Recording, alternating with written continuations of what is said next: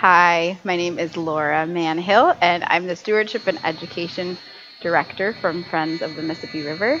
And I'm excited to be with you all today um, to talk a little bit about the process that our organization has gone through um, in the past few years in developing a land acknowledgement um, and then moving beyond land acknowledgements, uh, which is the title of my presentation, um, knowing that words are really important and powerful, but so are our actions. And so that's, I'm going to take you through our process today uh, and then talk a little bit about uh, where you all are in your journey and um, different ways um, that we can be in solidarity with Indigenous communities of Mni Sota Makoce, which is Minnesota. So I'm going to start with um, a little bit about who we are. Friends of the Mississippi River. Uh, we're a nonprofit. We've been around since 1993. And we engage people to protect, restore, and enhance the Mississippi River and its watershed in the Twin Cities region. And our work takes place on Dakota homeland. Is anyone familiar with uh, Friends of the Mississippi River? Yeah. And we work at 35 sites along um, the river, also known as Haha Wakpa, that's the Dakota name. So just as a quick little warm up, I'd like you to take about 30 seconds to think about a special place in the outdoors, in nature. It could be found where you live or where you work, and think about what makes that important to you. Um, and then if we, maybe we can do a quick couple people share out. Um, you could share your name. You can name the place. It could be a park. It could be a rock. It could be a tree. It could be a general area, a body of water. So think about what is that special place to you. Um, recently, I heard someone talk about nature is not apart from us, but it's a part of us. Um, and so it's kind of another way of thinking about all these special places um, on the land that we reside. So maybe think about that for a second and a few people if they want to share out their place.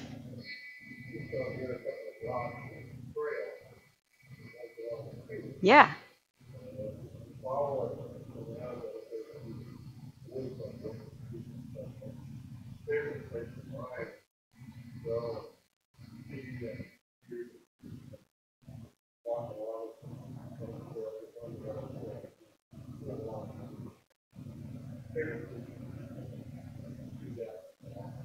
Nice.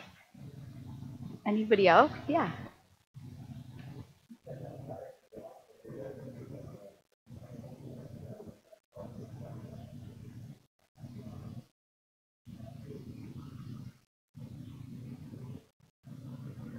Mhm.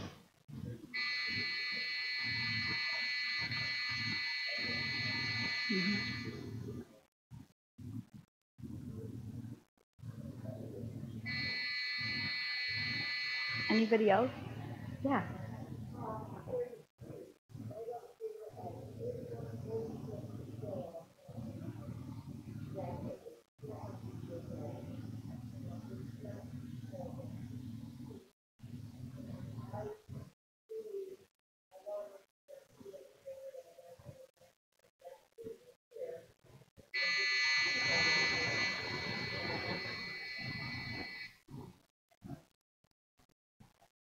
Yeah, trees are really powerful. I was just in a, a training recently where we were learning about how trees as technology, because we think of technology as, you know, the internet and the computer and all these amazing things, but trees can do so many things. And um, a lot of people believe, you know, trees, they have, they hold on to our memories. And I actually do talk about that in the presentation. And they've been here, you know, long before all of us, and will a lot of them will be here long after us. So uh, it's, it's very powerful when you think about that. And can nature can be very grounding and humbling. And thinking about who we are. Anybody else want to share you can also just kind of hold on to that that special place um, in your head. And also i think as you mentioned important to think about um, you know we're here now in these spaces, and Dakota people have been here for thousands of years. Um, Ojibwe Nation has been here hundreds of years. Um, and so we're uh, many of us. Um, I can't speak for everyone, but many of us have only been here for a really short time when we think of the the long time that people have been present on this this land. Um, thinking about when we're thinking about land acknowledgement, I think it is really important to start with your relationship with the land. And I, it was really lovely to hear some of your reflections and connections um, to land. Uh, this is from Mary Lyons from the Leech Lake Band of Ojibwe. She says, When we talk about land, land is part of who we are. It is a mixture of our blood, our past, our current, and our future. We carry our ancestors in us, and they're around us. Uh, yeah, do you want to fix to switch this? Yeah, is it giving a little bit of feedback here? No problem. Thank you. Can you hear me? Okay, great. Thanks. Um, so when we think about nature, in a lot of cultures, um, especially indigenous cultures, nature is really seen as part of uh, people. Even I heard a Dakota elder say that you are a think of even yourself as a land mass, right? As a person, um, which I thought was a really interesting way of of thinking about um, acknowledgement. Um, and obviously, it looks different for everybody. But it is really important when you start this journey to think about your own relationship, your own identities, your own connections to land, um, and things that we've forgotten. And you know, uh, in our modern world, sometimes we get disconnected. I think especially when we live in more urban areas. Um, I had a conversation with some Dakota women recently that said it's really easy to not see how degraded our land actually is and when you live in an urban setting because you're just you know driving on streets and moving around and not necessarily seeing the impacts of pollution and you know what's what's happened because of um, settler colonialism to this this land that we live on. Um, so I like thinking about the land itself, um, that it's it's our past, our current, and our future, right? So what we do today matters. What people, what our ancestors did on this land, it matters. It all matters, no matter who we are or where we came from. So I really like this quote. I have a video um, that's a great example of uh, kind of just an encompassing idea around land acknowledgments. And I'm going to play that for us. It's going to work perfectly. I just know it because Sheila and I practice so that I can just find, oh, there it is, find my little mouse. All right, see? Told you going to work. And this us a nice overview.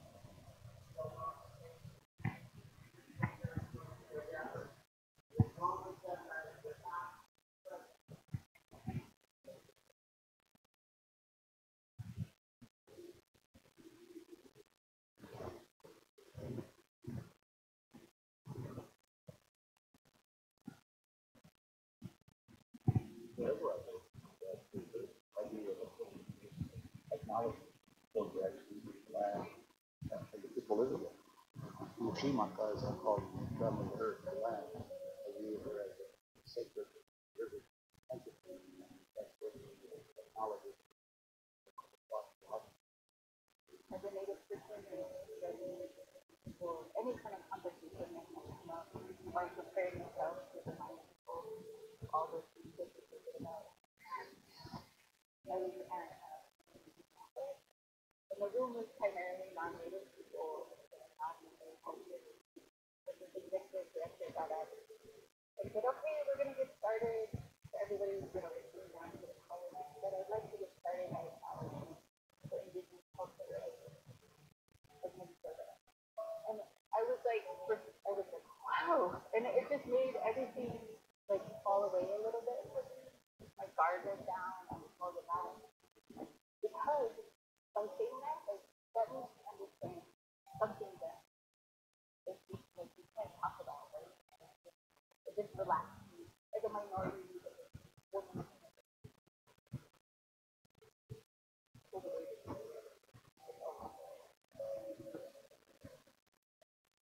We're at, we're at a time where um, non-native cultures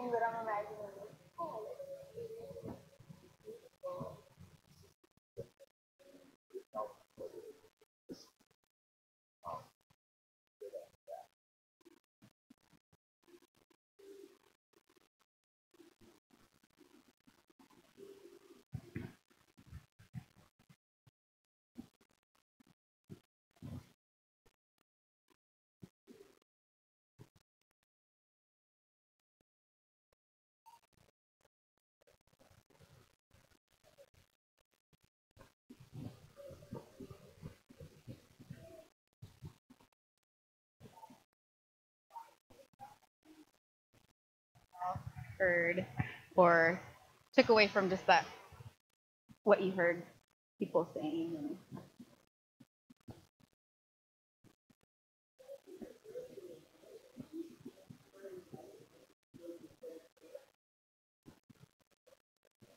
Mhm.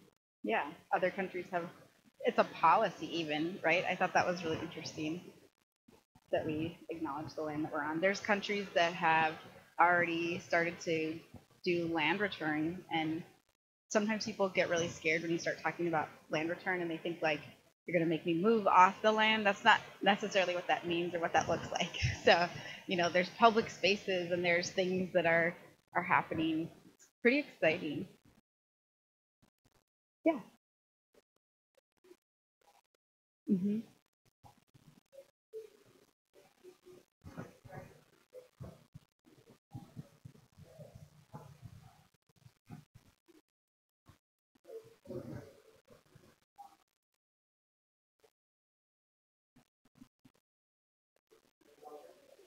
right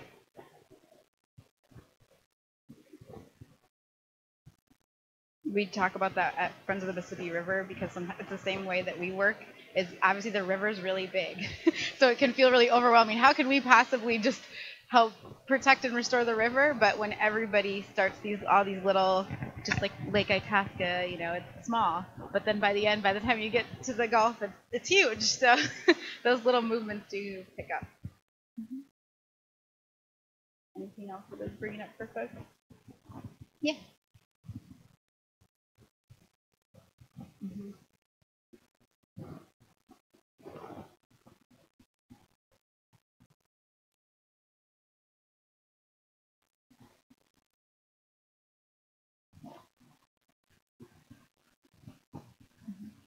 Yeah, and what I hear a lot of times, so my background, I'm multiracial, multicultural, African American. Obviously, I don't know all the details of that um, because a lot of my people were stolen from from their indigenous lands and, and brought here. Um, and then my on my mother's side, um, where I have European descent, um, and there's also some native. Uh, I do have some native descendants, but don't have a, a specific connection or know which exactly which nation. Um, kind of got lost. Uh, so for me, a lot of times I think about, you know, what is my place? So thinking even about like your own identity on this land, but I still definitely see myself as a guest on this land, but in a complex way. so, and and even uh, talking with um, other uh, indigenous folks about when you go to, you don't necessarily have to. Uh, when you go to other people's places, and they they spoke about this in here. If you go to another place, you want to pay your respects. Um, so just because you're indigenous to uh, this land, that doesn't mean you don't pay your respects to the other nations and sovereign nations that are on in different as you move around different places. Um, so I thought that was also interesting and important to note. Yeah. Go back to working for me, right? Okay. Um, so I kind of just to ask you a little bit more before I talk more about our process. Um, what do you feel like your purpose as a community is in creating this land acknowledgement? And what are some of the things you're hoping to get out of our time today, knowing that this is kind of just a first step in that domino, right? what are some things that has brought this about? And there's not a right or wrong answer. So, yeah.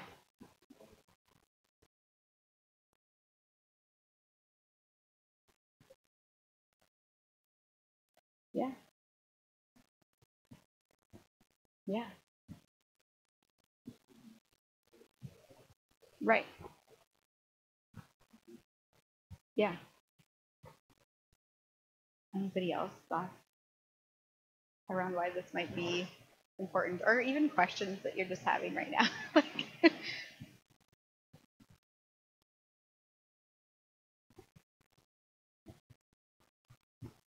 Yeah.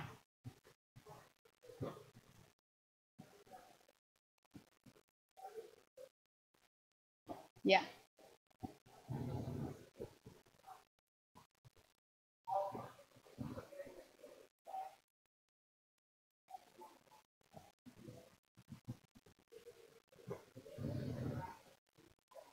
Exactly.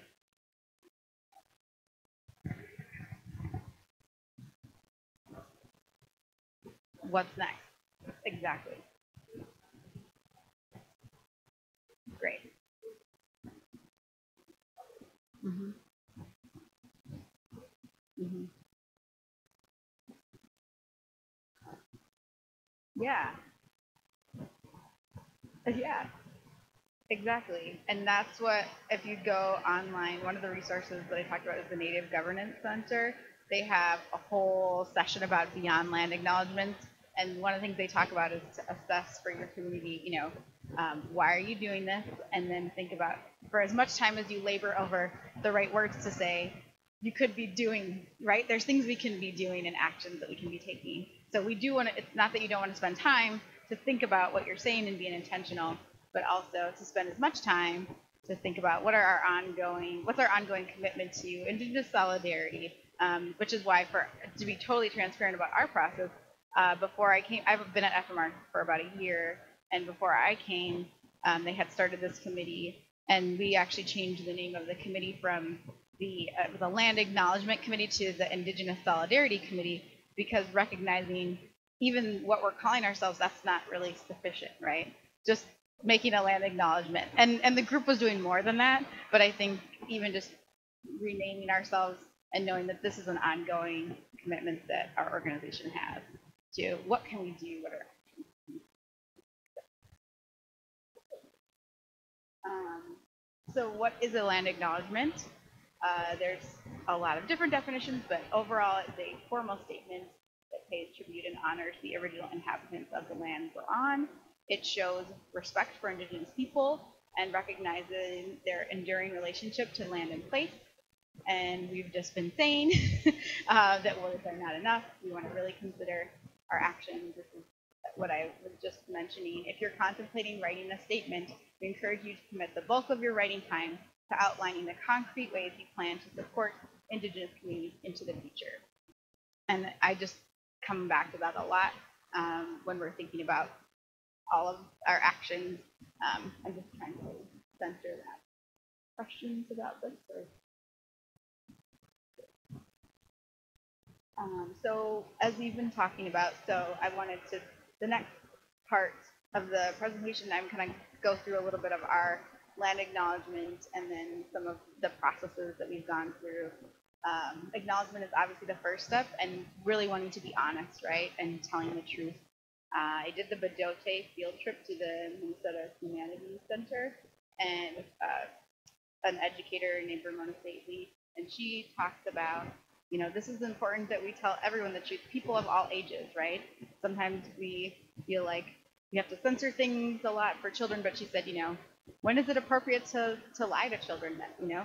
Um, and unfortunately, a lot of us were lied to in our upbringing in terms of our education about Dakota people, about this land, about, you know, what really happened here.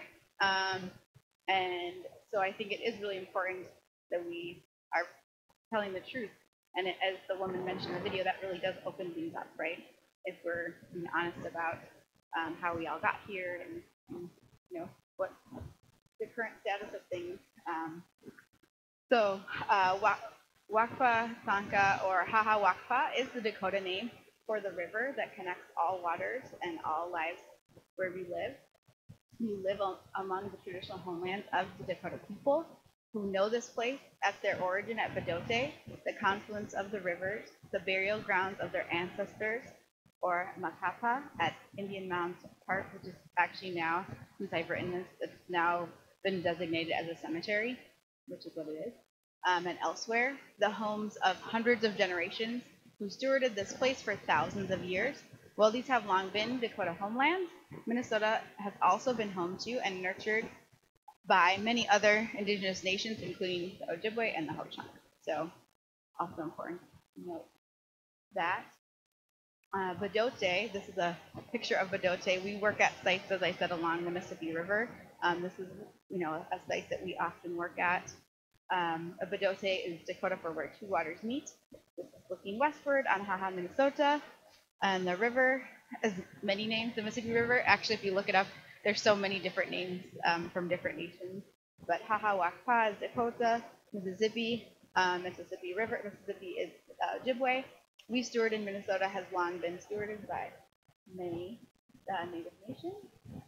Uh, as I mentioned, this is the place where we all live. This is another picture of uh, Bdote, and Bdote is also a site of creation um, for Dakota people. So it's a very sacred space, uh, and if you're familiar with it, it's right near Fort Snelling, um, which many Dakota people refer to as a concentration camp um, because there's I just was at a, a talk, and I'm going to share the link to the video. Uh, Dr. Mato Nunpa, and he spoke about his he has had a grandmother um, who was held there at the concentration camp and and then eventually killed um, and thrown into the river. And he says, you know, I have to live with that generational trauma. And so for me, it's not a, it's not a historic site. It's Not, you know, this is it's a it has a lot of different meanings and connotations. I know that that site themselves are working on reimagining the way that they tell that narrative. Um, so it's it's just very important, like as we said, to not just rename things, but also to to tell the truth about what these places are. This is uh, the Mounds Park Cemetery. Um, this is in St. Paul. This is another site that Friends of the Mississippi River, River has worked at for many years. And something that we've been working on with there's a another there's a native led organization called the Lower Phalen Creek Project, and they're working on daylighting the Phalen Creek, which uh, used to connect uh, the Phalen Lake and a lot of the other streams and lakes in St. Paul, um, which is where our offices are located by. And something that we've had to really consider is the language that we're using about this site, um, the fact that this is a summit and it should be treated as such. We recently interviewed a local woman who is Dakota, and she lives right by the mounds, and she told us a story. Um, her name's Crystal Norcross, and she told us a story of how when she was 12, and when she realized that this is a cemetery, um, and there's a lot of signage, up, very inaccurate, unfortunately, that talks about uh, who's there and, and, and the history of the site. And she said, you know, I was, I was, we were doing a ceremony, and uh, someone came up to her from Fox News or something and wanted to interview her. And she said, and they asked her you know, about what it meant, and she never, and she goes, it was right then when she was having this interview with this reporter because they asked her about her relationship to the space and that she realized these are my ancestors are buried here and this is a cemetery. And it's not always taken care of in the same way that a cemetery would be. Um, and so she said you know since that time she's really tried to take care of this space and really advocated for um, its return to uh, dakota indigenous communities. Uh, there was even a whole issue around people wanted to build a splash pad and uh, right near this site and without even consulting you know indigenous communities. And crystal told us the story of kind of how she brought together community and had community meetings and posted things on facebook and and got people involved um, to really you have to put that pressure on on the government and other entities to to really acknowledge what the space is because she said you could never put a splash pad in a cemetery, right? Any other cemetery. So why is it okay for right here? Let's take the money that we were going to do to build the splash pad and let's educate the community. And so now there's signage that says this is a cemetery, and there's signage on the on the park benches to remind people to respect the space. Um, and it's even really shifted the way that we take care of the space. Um, and instead of just showing up and doing our tending and taking, you know, we were removing invasive species or displaced plant relatives and things like that, but actually thinking about how do we partner with other native led space in a different way. Um, we can still care for the land and the space, but wanting to do it in a more um, we talked about trees earlier. This is another uh, place near Bdote at the confluence. And these are actually have scars from the ropes that were slung around the trunks. You can still see this if you go down there. Um, from the dock boats that removed indigenous people from their homeland. So when we talk about trees do have memories. And I mean, even physically, you can see the memory of that. Uh, and I definitely encourage you to, to, to think about those things. And, and, there's places that we don't know about, and there's histories that we don't know of. You know, even right here, in I'm sure in your um, by near your church. And uh, sometimes it's hard because we've lost a lot of Dakota elders. Um, I know during the pandemic as well to know about all the histories, um, but there's and the other thing that's really important that we always try to remember and uplift is that Dakota people are still here. We're still here, right? They're still here, and um, they're you know still a thriving culture. A lot of times we talk about indigenous people in the past, and or uh, invisibility is a huge issue for indigenous communities, and that makes it harder to advocate for their sovereignty and, and other um, other issues. And so, just celebrating, you know, the enduring strength of indigenous.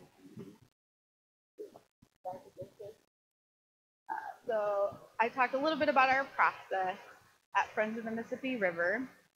And really at the center, it really is about building relationships and solidarity with indigenous communities. Um, and that is not something that just happens overnight, and it takes a lot of time. And so, you know, we have our Indigenous Solidarity Committee that's kind of and kind of checking in and holding ourselves accountable. Um, and then outside of that, we, our education team, that's my team. We do education and stewardship events um, we've been really thinking in this last few years, how do we really center Dakota voices and think about indigenous knowledge and science um, so that we're really integrating that into our curriculum. Um, we do land acknowledgments at all of our events. Um, we've integrated into our courses and um, really trying to combat invisibility and harmful narratives and add, you know, really uplifting all these indigenous ways of thinking and being and knowing um, so that we're not pri- uh, privileging uh, Western science over indigenous sciences um, when we're introducing lessons. And it's going to be an ongoing process, and it's not something that we're going to be able to just check off and say we're done.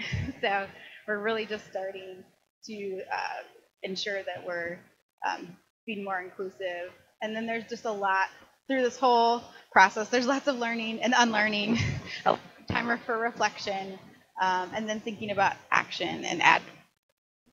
Um, sometimes it's something really simple. For example, I to kind of show you an example of something. Um, we've been working with the Lower Phalen Creek project that I mentioned before, organization, and we developed a management plan with them uh, two years ago. About uh, they were working on their site and they wanted they needed some support with that, and we really uh, worked with them to do community surveys about what are the native plants that are important to um, indigenous communities that you would want to your management plan of the site so that we're planting plants that are culturally significant and also um, good for our land and for the water.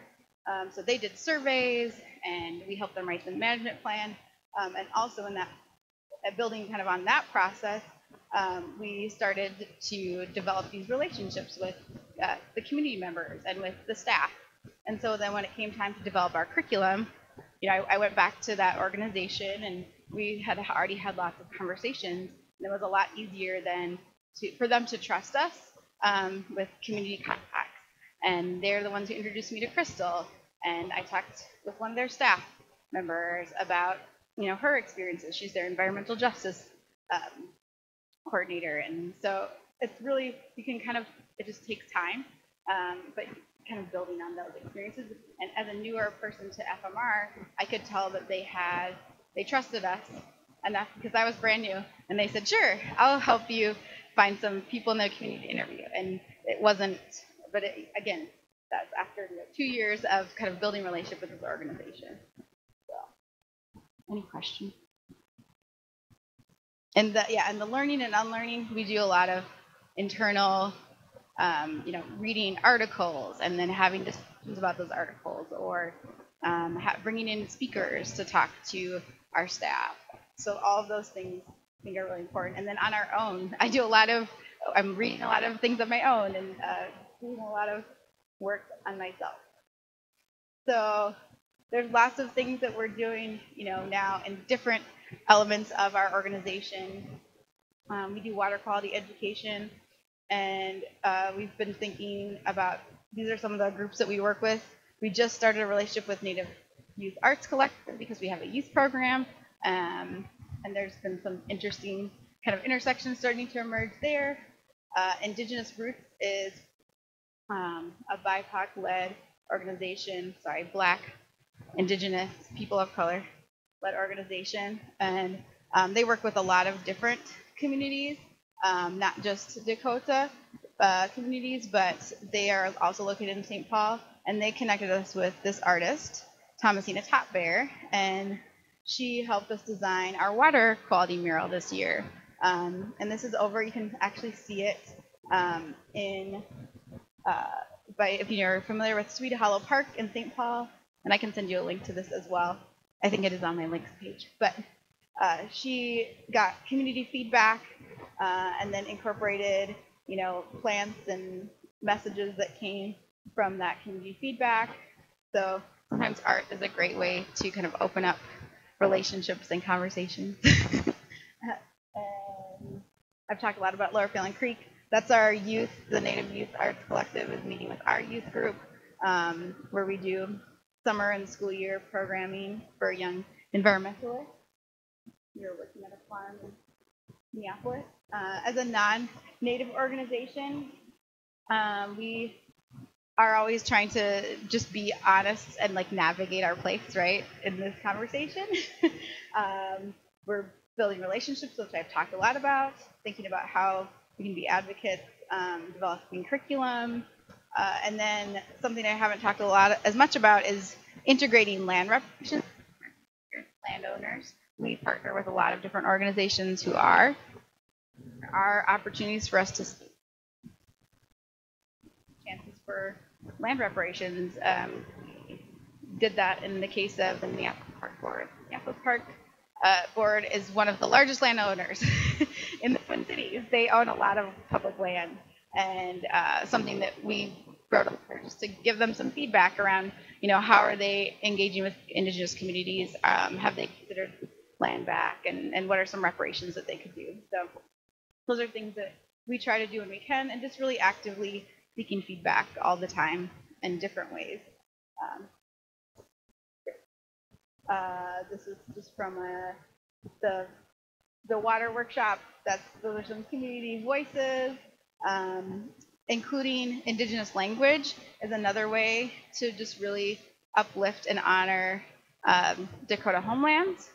So uh, this is something that Thomasina said. She said, during and after the community engagement meetings, I saw a few recurring themes, such as indigenous language, water and animal protection, um, which align with things often found in my artwork. I put Mni Wiconi at the top to emphasize water is life, which is what that means. And to normalize Dakota language, the original language of this land. I also used the drawings of the Mississippi and added in animal relatives I found in the raindrops. So this was community really and again I, I love doing arts programs, doing art because it's a nice way to open things up. Equalizing. Even if you're not an artist. so. This was Keely, who I mentioned earlier, uh, from Lower Phalen Creek Project. She's been really instrumental in helping us with our cultural landscapes curriculum um, and just building on past relationships and then thinking about ways that we can can do more advocacy. There was recently an oil spill from a train uh, that happened in St. Paul, actually, um, near Lower Phalen Creek. And so when that happened, we reached out to Keely and said, you know, how can we support? Because she said no one's paying attention to this, right? They're a smaller organization. They post about their social media so that we can repost it. We've had meetings and we've uh, maybe we have we have a pro bono lawyer that's helping us with a project. Maybe they can help you um, advocate for something that's happening with you. So I think it's about really that we can support each other. Um, any questions before I keep? Okay. Uh, this was what I spoke about earlier, um, Indian Mounds Park. This is Crystal's daughter. and um, this is from Indian Country Today. I also really try to be more intentional about the media that I'm consuming. Uh, there's some great um, native radio shows and podcasts and and news outlets, uh, and so sometimes it's good to kind of mix up where you're getting your content from, because you we we do tend to get stuck in a lens that's very you know Eurocentric and Western, and so uh, yeah. But this is one of the things that they've been able to do. Um, is to change some of the language. And I think that, you know, Crystal's really pushing for them to go even further and to, give the land back. So it's exciting to learn more about that.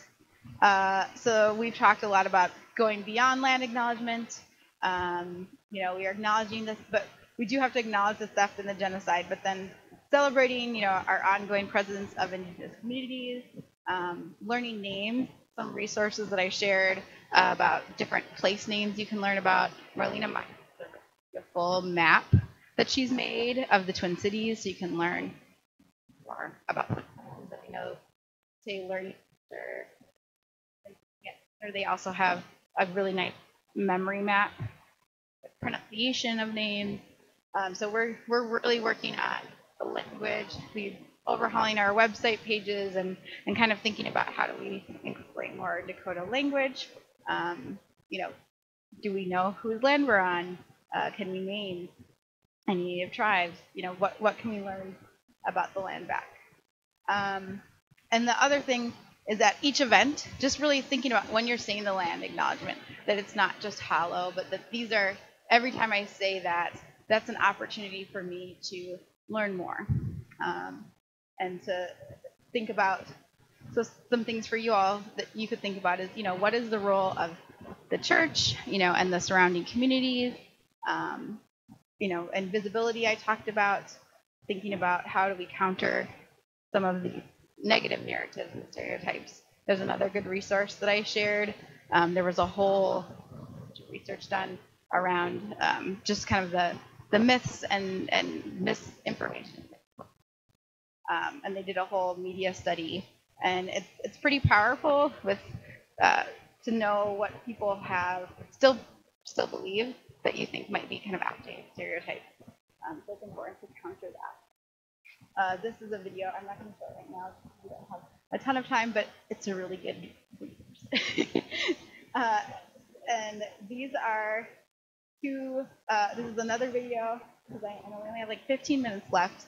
Um, but this is Pastor Danny Givens, and then um, this is Jim Bear, and they both he talks about he's there's actually the video of is him at Bdote talking about Native histories, and then he talks kind of about African Americans, uh, their relationship to the Mississippi and to land and water, and it's a beautiful video. It's about seven minutes long, but it's I highly recommend it, and they're down by and it's just gorgeous.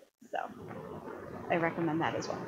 Um, so yeah, I just wanted to make sure we had time to talk a little bit about what are some things, and we, we, we talked about a little bit now, but what are some ways that you've been navigating Indigenous solidarity and expanding allyship, or you know, and are there some things that you're thinking about just even from our what I've shared about actions you might take? I don't know if it's helpful. Do, maybe do you want to share with someone next to you, and then you could share out. Yeah. Or do you want? You have something to.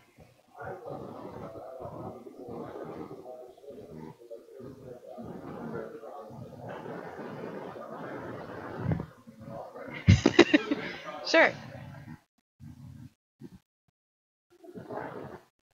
Share what we you have.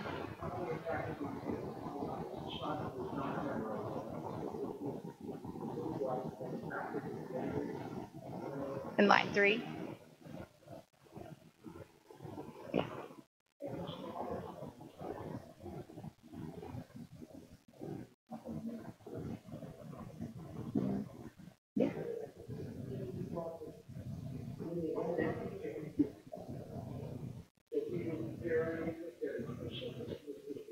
Yeah. They might not be here. Yeah, that's a great idea. Go ahead. Don't you share more? Do you want the the microphone? Why don't you take the microphone? Because I, I feel like thank you. oh gosh. All right, impromptu. So, so no, no, this is so great. It's um, my I feel so lucky. So my joined the task force, the Valley Indigenous Land Acknowledgement Task Force, and asked if I would like to be involved because I'm very involved with the Golden Valley Historical Society. So she thought I might have some information that way. And it's been so fantastic to reconnect with Valley. We've written this beautiful statement. It's been such a fun team opportunity. Mariah is on the team. It's led by Jen Biggs, and Richard also serves with us. Um, so we started writing this land acknowledgement, but we wanted to go further. And I've done some grant writing for legacy amendment grants. And so we've um, put in a request for $10,000 to record oral histories with Dakota and Ojibwe people who are from Golden Valley, who have lived here or worked here. And we are so lucky. We found a professor from the University of Wisconsin who specializes in suburban indigenous history. She's like the only one in the United States. And so, right? And, she's so excited that on her own, she has applied for another grant of maybe $14,000 to expand the project. So we'll get these the idea is um, not so much to center Valley in it, but to use our resources to amplify and lift up these other voices and expand what we know about the area. Um, so Mariah and Mom, did I? What did I miss? Excellent. So we um, we're very committed to a process of informed consent. You know, Native communities have often had people come in and do extractive work, thing, take things out without permission. So we're really doing a lot of work up front to educate um, the narrators about what will happen with their words. And the recordings and transcripts will go to the Hennepin History Museum to be preserved in perpetuity. Um, but the folks will also have an opportunity to say if they would like to give their recordings and transcripts to their tribal archives, um, the church will have a copy if they're okay with that, and the Golden Valley Historical Society will also have a copy. So um, letting them choose what happens to their work, but also finding a way to preserve it in the long term. Um, my other favorite part about this project is that uh, through Golden Valley, you know, we have Bassett Creek connects Medicine Lake to the Mississippi River, and we recently learned the Dakota name is Haha Wakpadan. So the Mississippi River is Haha Wakpa, and Bassett Creek is like Little Haha Hahawakpa. So, so we're we're basing the project around that. So thank you for letting me share, and I'm happy to answer any questions.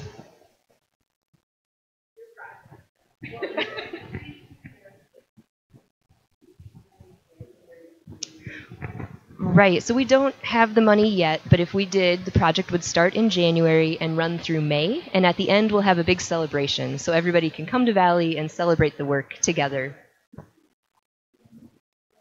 Um, one is from the Legacy Amendment, so the people of Minnesota voted with their tax dollars to support the Legacy Amendment. The other is through a research opportunity at the University of Wisconsin. Yeah. Yeah. Um, well, we would um, be more like a resource for the professor in Wisconsin, but this is the cool thing. She was doing another project and trying to hire some students to do native oral histories, and she found a young Ojibwe woman who grew up in Golden Valley and will maybe help her with that project. So we'll be there to answer questions and help them. Um, yeah, so maybe in the spring, depending on schedules, we'll try to get everybody together. Oh, I don't. Yeah, so so yeah, so there's a lot to come. Like things. So we, it's hard to announce yet, but there's a lot going on. yeah.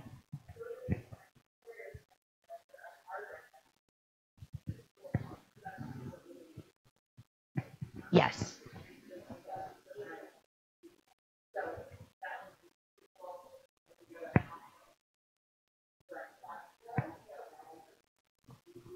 Yes, and Mariah, you just jogged my memory. I should also give a shout out to Valley's Endowment Committee. They provided the seed money that got all this started. So, got to get all those partners put together.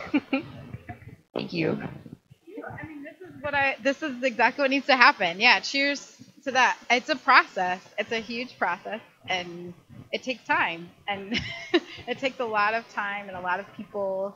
Um, but it's like very clear that you have a commitment, um, and this is exciting. See, I didn't even know the cool things that you're already doing. So thank you for sharing. But that's why it's important to have these conversations. And what I have found is when someone shares something that they're doing, someone else finds a connection, and then it builds, and this this dominoes, right?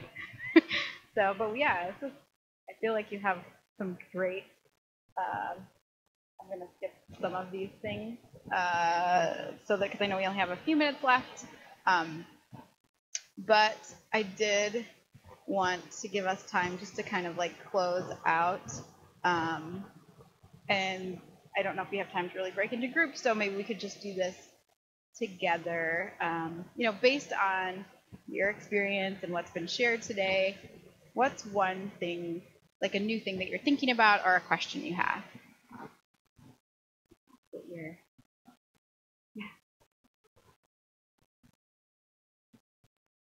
Mhm.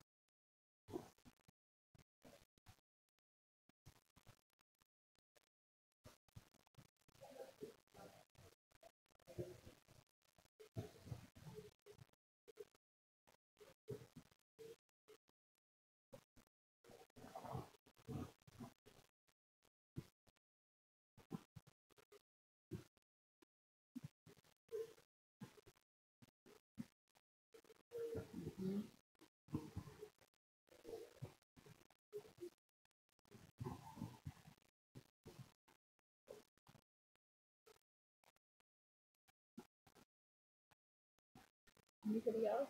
Things that are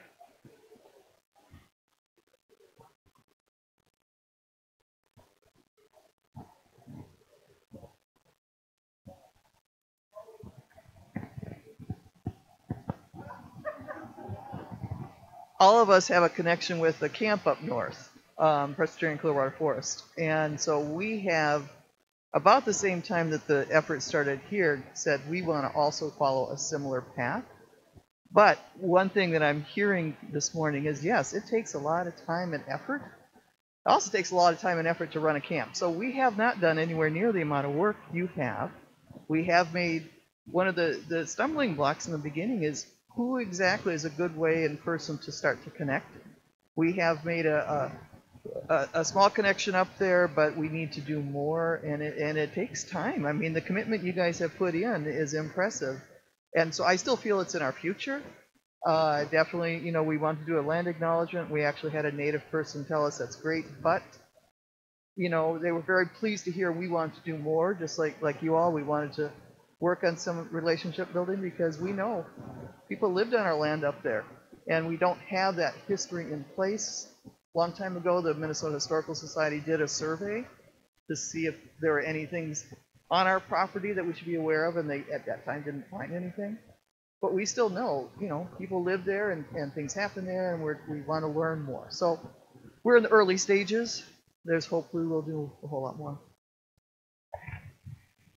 Yeah, I mean, in terms of relationship building, I guess I would encourage people to go to. There's events, there's other programs, other people doing this work, um, and you know, just start showing up, and you start to get to know people and build relationships, and yeah, just keep showing up, and it just it really does take time though. There's not really one magic way to do it. Um, and it has to be mutually beneficial. It has to feel not extractive, as you mentioned. Um, so it, it is just going to be moving at the speed of trust, right? Yeah, I've learned that from there's a book called Emergent Strategy uh, by Adrienne Maree Brown, and that's what she talks about with community, working with community. Mm-hmm. Mm-hmm. Yeah. Exactly. Yes, the new center. Yep. Yep.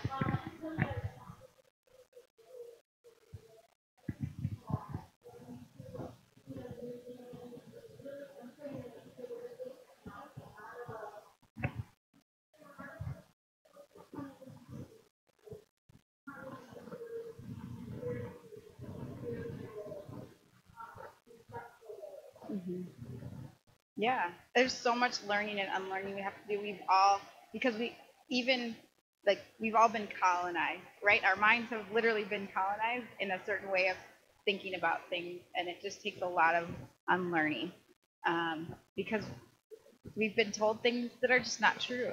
Um, I listened to a really difficult information. I mean, reading some of this information about our history is very painful. It's traumatizing. You know, Fort Snelling is is something as a kid you think of. When I grew up, it was like, oh, this is a fun place to go visit. It's a concentration camp. You know, people were murdered there. It's and pushed off their lands. Genocide. Uh, the amount of genocide that happened on American soil is is very it's it's mind-boggling, and we have to confront that as a as a nation. So it's a lot of learning, like you said, and unlearning. So many. There's some great books and resources. Um, I maybe I, I know we have maybe two minutes left. I did. There's a beautiful poem um, by Gwen Westerman that I think uh, to me is sometimes really helpful. Uh, for me, I'm an artist, I'm a storyteller, and a theater artist by trade. so, uh, besides being someone who cares about the environment, and so sometimes for me, that's a great entry point is through art. Um, and I think this poem really beautifully kind of sums up, uh, really sums up her. She kind of captures so much in in just a few words. Um, so maybe we just want to close with the poem. If does that work for everybody? And um, maybe let's everybody let's take a deep breath in first, and let it out. There's just a lot. Take another deep breath in. Let it out. Kind of ground ourselves in the time and place that we are right now. And again, I'm I'm not a Dakota speaker, so I will do the best that I can. But you can listen to Gwen read this poem also on my website. okay. Uh, this is Dewakpatanka Odawan, Song for the Mississippi River by Gwen Nell Westerman. Long before Louisiana woman, Mississippi man, before Old Man River, before Wade in the Water, long before Schoolcraft and Veriscapot, before Father Hennepin and St. Anthony, before Mississippi, long before Hernando de Soto, Otokohea. In the beginning, the Mni Sota Makoce. This was a Dakota place. The water was pure. The water was Wakan, sacred. Mini. Peyuta Tokohe Heka. Water was, water is, our first medicine. The water was part of the land, and therefore part of the people. And in this place we flourished, from Bdote, where the Minnesota Wakpa joins the Wakpa Tanka. We followed the rivers, interconnected waterways, interconnected lifeways. Itokaya. Southward to Hemini Khan, and Bede Isma, and Bede Istamani, the Lake of Tears. Waziata.